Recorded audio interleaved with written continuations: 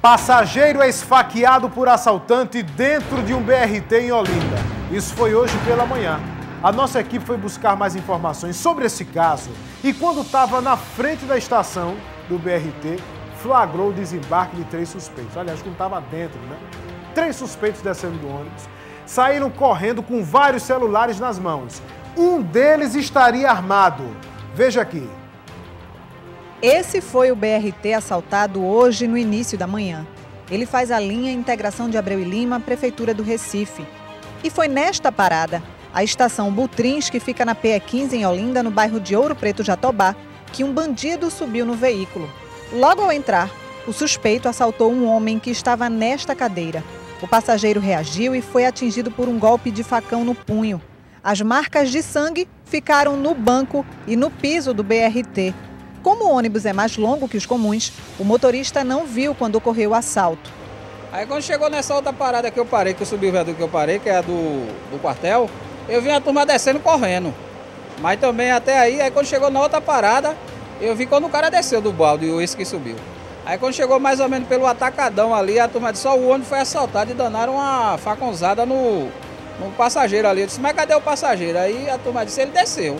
O passageiro correu também. O passageiro desceu, disse que ele reagiu, aí o cara deu uma facãozada nele. Agora também eu não vi o passageiro, se eu disser que eu vi. O ônibus é muito extenso, também atrapalha. Não dá pra ver não, o carro lotado. O Sindicato dos Rodoviários denuncia que as estações de BRTs também são inseguras.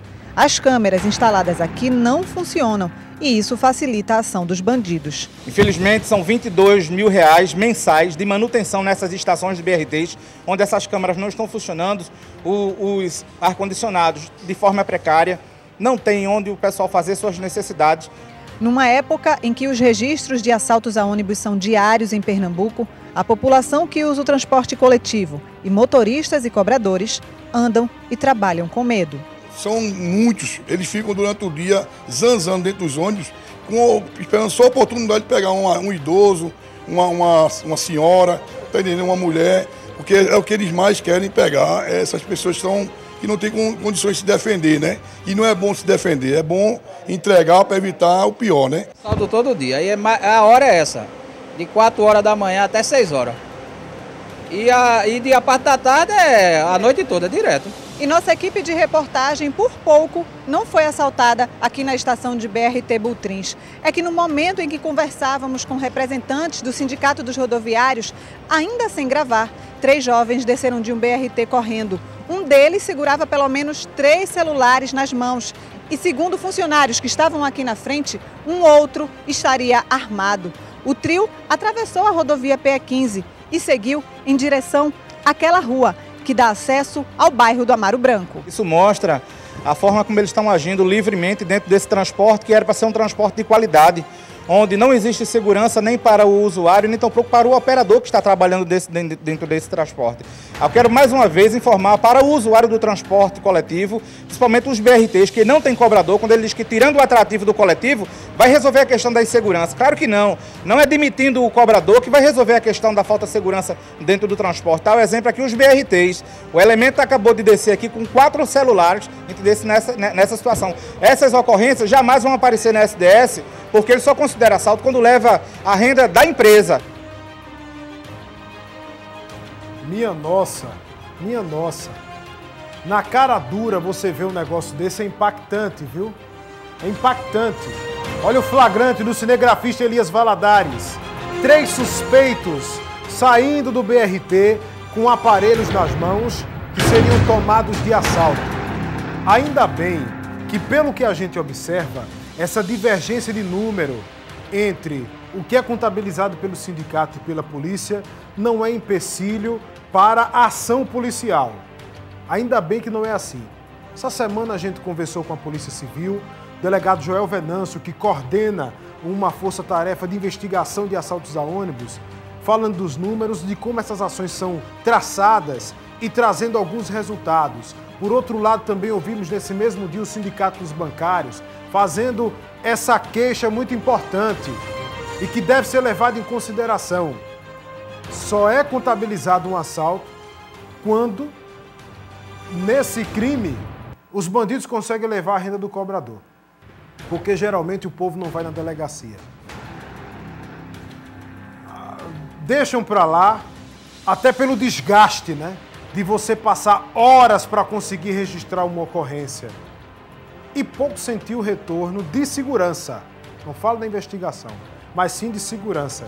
De você entrar dentro de um coletivo e ter a garantia de que você vai chegar ao seu destino em paz. Então, pelo menos, que essa divergência de número a gente vê que não está servindo como empecilho para uma ação. É preciso ações mais efetivas, sim, de fato, porque os números são seríssimos, mesmo da polícia sendo mais baixo do que o dos sindicatos rodoviários, mas pelo menos eh, essa divergência não está impedindo da polícia agir. Não é um implicador para que a polícia venha agir. O Grande Recife informou que, em relação ao não funcionamento das câmeras das estações de BRT, foi firmado convênio com a Telebrás para que seja implantada a fibra ótica nos corredores Norte, Sul e Leste-Oeste. O consórcio afirmou que esse serviço vai permitir o monitoramento das câmeras e que a previsão é que a Telebrás conclua o serviço até o final de outubro. O Grande Recife esclareceu que a fibra ótica presente em alguns locais permite o monitoramento das estações Derby e Guararapes e do corredor leste-oeste. Então, pelo menos o Grande Recife também enxerga a necessidade de ampliação. Falando nisso, hoje seria um dia de fiscalização por parte do Grande Recife para o cumprimento daquela resolução que determina que todos os veículos do transporte público tenham agora que contar com ônibus. Câmeras de boa resolução apontadas nessa resolução do Conselho de Trânsito Superior de Transporte, né, é, falando de forma correta, do Conselho Superior de Transporte Metropolitano, para que possa subsidiar investigações de crimes, como assaltos a ônibus, para que a polícia venha prender esses vagabundos e que coloquem todos na cadeia. Hoje ia ter uma fiscalização para saber se todas as empresas estariam cumprindo essas normas. Esperamos uma notícia em breve. Certamente nem todas estão, mas que pelo menos o Grande Recife venha fazer a cobrança.